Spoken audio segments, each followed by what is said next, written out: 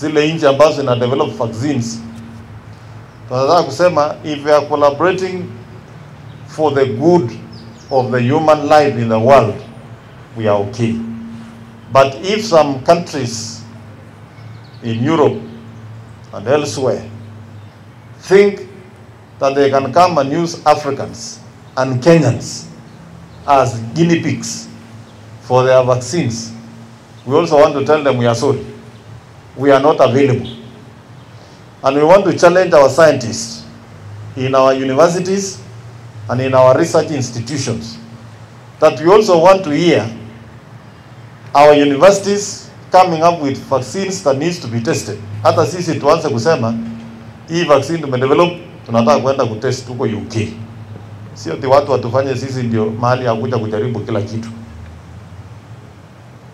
Na kama serikali, Ministry of Health, I want to urge you.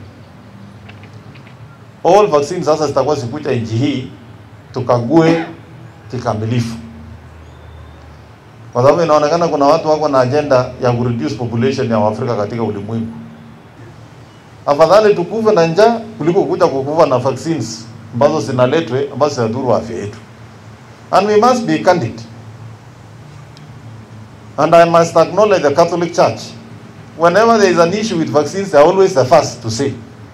Na kuanzia leo mimi nikisikia tu vaccine Catholic wamekataa, hata mimi nimekataa. Because it means there is something hidden. Na Waswahili wanasema lisemwalo liko. Kama liko na pia sisi kama Waafrika can we believe in ourselves? Eh? Hata hii madawa ya nyumbani iko sawa. Mimi najua madaktari kina Evelyn hapa hawataka kusikia hiyo. Hii watu wamesoma soma kwa university hawataka kusikia dawa ya nyumbani. Dawa ya nyumbani inafanya kazi. What you only need is research.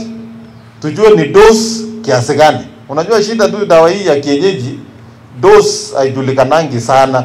So unaweza kunywa 5 liters ndio iweze kumaliza. Lakini si hata haiwezi ponya, inaponya. Watu wangapi wame, wamepewa dawa ya nyumbani na wanapona? Kwani siku ile kabla hii madawa ifike, si tulikuwa tunakunywa dawa ya nyumbani na tulikuwa tunaishi? So I also want to challenge our universities. Can they also help our herbalists to standardize their products? And we also want to ask the national government, as we want our universities to do proper research, I think it is time we also increase the funding to our public universities and private universities for research. We must enhance the capacities of our universities to research. Tuwekeni pesa huko KEMRI, tuwapatie pesa ya kutosha ya kufanya research. Alafu sisi tutaanza kutatua matatizo yetu local. Na mumeona He, mambo kwenda hapo mbele, mambo ni magumu. Kumbe inawezekana kuwa kuna wakati hakuna mtu atatoka Kenya, matibabu lazima mtafute locally. Maona vile corona imetufanya, hata kama ni kurudi kwa forest, my friend, tuanzeni mapema, because mimi naona kwenda hapo mbele, kila kitu itafaa, kila nchi jitafutie kwake.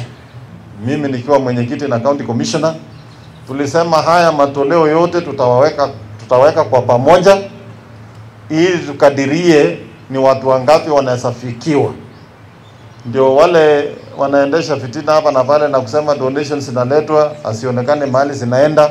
Sisi kama serikali ya kaunti hapa na maofisa wa serikali kuu katika kaunti hii, sisi tunafanya kazi kwa mpango na kwa ratiba, na sisi tunaweka records ya yale yote matoleo ambayo tumepata.